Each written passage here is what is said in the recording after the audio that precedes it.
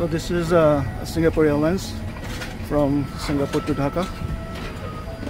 I have flown Singapore Airlines business and first class numerous times and uh, every chance I get I try to do it again because they are uh, it's 12A 12A, let me show you. Just. okay thank you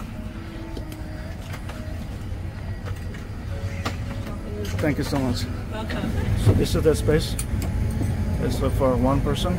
This is the window seat 12A this is the lie flat bed. This is a very very comfortable seat. I always enjoy this. And especially I love the lounges that it has access to. SilverKris round I have a separate video for that.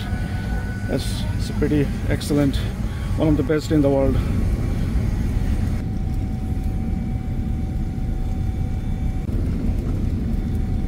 so now we are taking off from Singapore to Dhaka.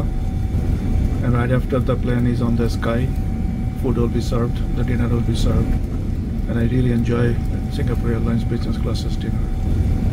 And after that I'm planning to take a quick nap before we land in Dhaka. Let's dive into the food section in a minute. This is the appetizer. This is salmon. And then I took uh, the Seabass dinner